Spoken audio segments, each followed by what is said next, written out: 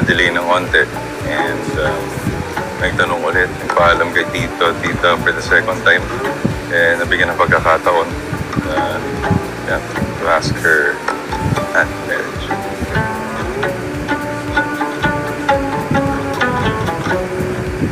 A week ago, sinabi na sa akin, I have a, I have a shoot today for a magazine. And then I was really looking forward to it because it's been a while since my last magazine shoot. Sinet up namin na nakalabasan ni parang magazine shoot lang. Never po siya nakapunta dito at iniiwasan ko siya dalhin dito for the longest time because this is where I really plan to ask her. And um, I've been planning for a year now.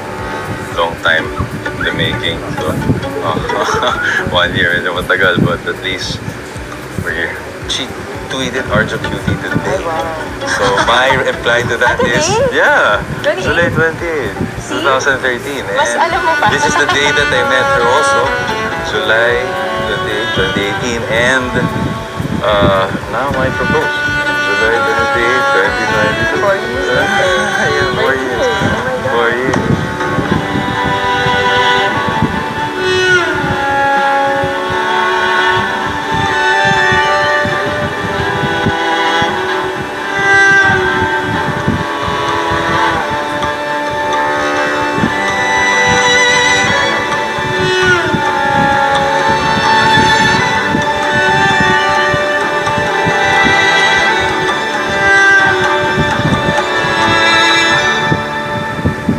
honest, it hasn't really sunk in yet.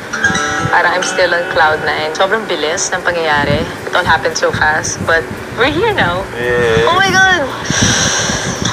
After 40 years, I still get, get enough of you still.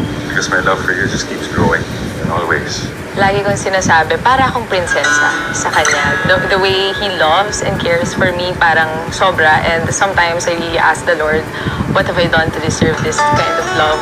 I've, I've always prayed to find the man who's gonna love me for who I am. And then you came. Our relationship started, both our families had to take in a lot of punches. And still, it never stopped us. Stop anything between us. For that, I'm very thankful for both sides of our families for accepting. Because at the end of the day, I just wanted to love you truly.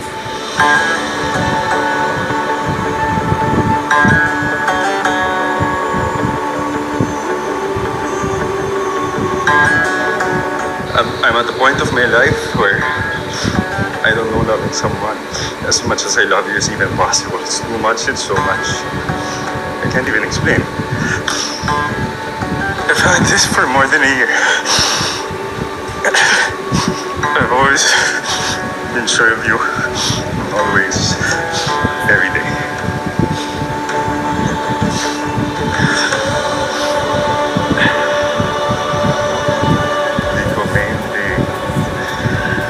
Mendoza.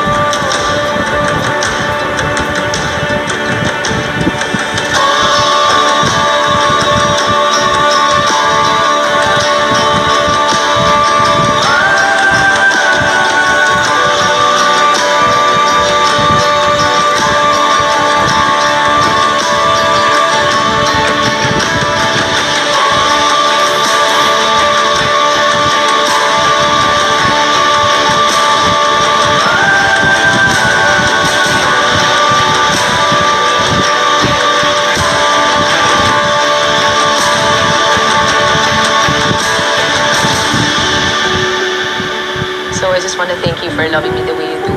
I want to thank you for being you, for loving my family, for loving my friends, for loving me.